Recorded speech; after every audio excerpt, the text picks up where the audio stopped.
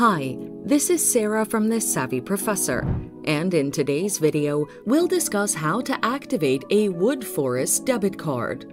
Watch the video until the end for a better understanding.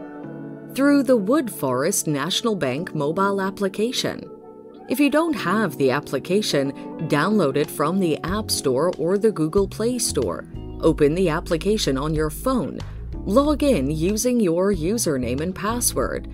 From the home screen, go to Accounts. Under Accounts, you'll be able to view all your accounts. Click on the debit card you want to activate. On the next screen, click on the Turn Card On button. Confirm that you want to turn the card on. You'll receive a notification that your card is activated. Go through the terms and conditions and accept them. You can now proceed to make transactions with the card. Click on the Finish button. Call or visit a nearby Woodforest branch. You can call or visit the nearest Woodforest National Bank branch to you.